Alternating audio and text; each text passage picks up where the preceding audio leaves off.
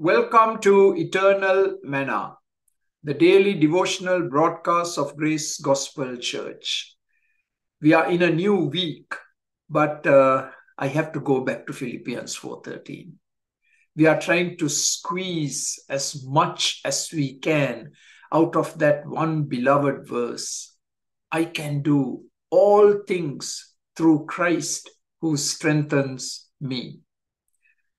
Now, if you and I look at ourselves from a human perspective, these are kind of uh, the words that you and I would uh, say. Unbelief says, I can't. And it is because of unbelief that the children of Israel didn't enter the promised land. They wandered around in the wilderness for 40 years. So unbelief will say, I can't. Previous failures will say, I can't, I cannot. I tried it before, didn't come through. I was a miserable failure. So previous failures would cause you to say, I cannot. Past experiences, painful experiences, would also cause you and me to say, I cannot. I don't want to go through that path again. Too much of pain, hurt.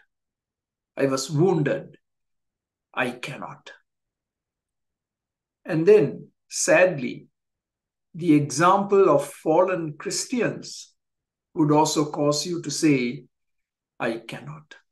I mean, I looked up to this Christian. He was a leader such a godly person, and he had a huge failure and moral failure. And uh, I can't, I can't uh, live this Christian life. It's too much. It's too much. I can't live it. And then, of course, Satan comes and whispers in your ear and my ear, you cannot, you cannot. Look at you, look at you how weak you are. Look at all the sins you have. Look at your inconsistencies. You can't. You cannot. Satan comes and whispers those words into your ear and my ear every day. So look at that list unbelief, previous personal failure, past painful experiences, example of fallen Christians and Satan whispering in our ear, all put together will cause us to say, I can't, I cannot, I give up, I quit. Please don't go that way. Yes, all those reasons are real reasons. We are not denying them. But faith says, I can.